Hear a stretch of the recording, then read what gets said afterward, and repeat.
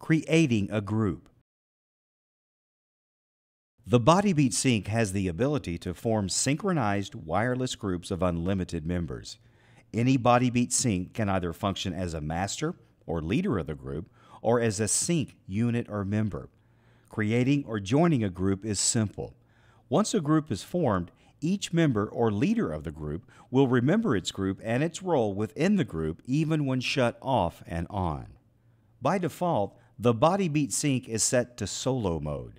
This means that the wireless circuitry is not active and the unit is not searching for a group or communicating with other units. Press the Mode button to cycle through the three basic modes of function. When the Sync mode display reads Master, you are ready to create. Press and hold the Sync button. You will see the wireless icon animate as your unit is creating a new group. When the group is ready for members to join, the OR icon will appear signifying open registration.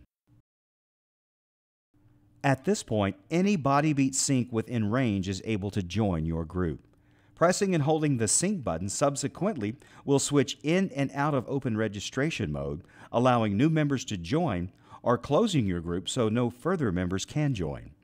Pressing and holding the Sync Mode button will break the group and return to solo mode. Any members who are part of the group will be unsynced. Shift function. Pressing and holding the Shift button and pressing the Sync button will display the number of units currently synced to the master. Note, as long as the unit stays in master mode, it can be powered off and on and it will retain all group information.